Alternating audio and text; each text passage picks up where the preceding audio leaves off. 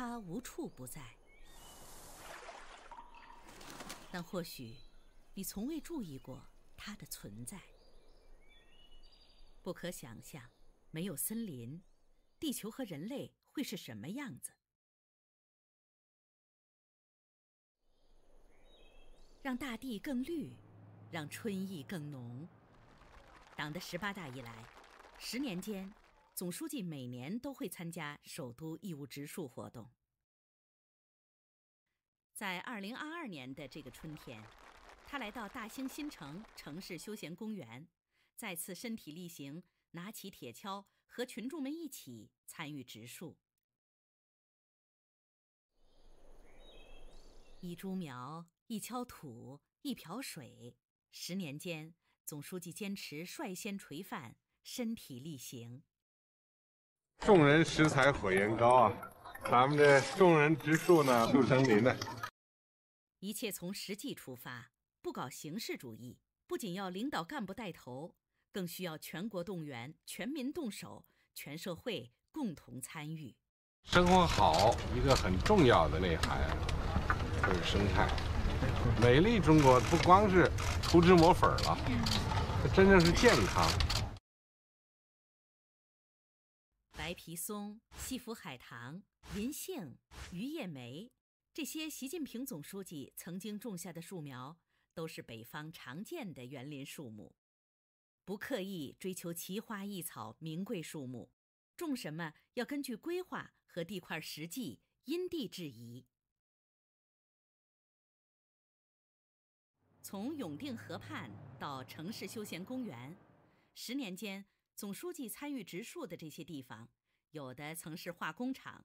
有的是过去的拆迁村镇，为老百姓多留点绿地和空间，真正要为人民种树，为群众造福。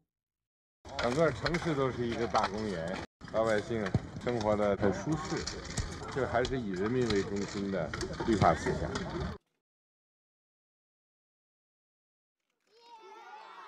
从二零一三年到二零二二年，几乎每一年的植树活动。都会有一些少先队员参与。不要不要拿着。总书记总会一边劳动一边和孩子们交谈。从小呢就给他扶正了。我们共同给他浇水，实际上呢也在为你们浇水。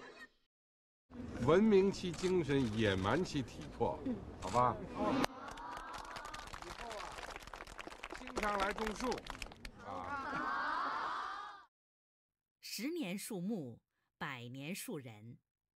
未来的美丽中国需要这种下的一棵棵树苗，未来的国家建设也需要这些像小树苗一样茁壮成长的孩子们。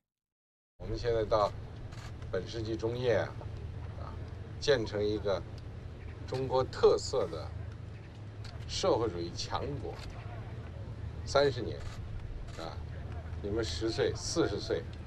国家栋梁啊，将来茁壮成长吧。在一次次的身体力行中，种下的不仅是一片片绿色，更是为了人民的初心，是百年树人的希冀，是对美好生活、美丽中国的向往。我们希望这个蓝天啊，白云，洁净的水，啊，新鲜的空气。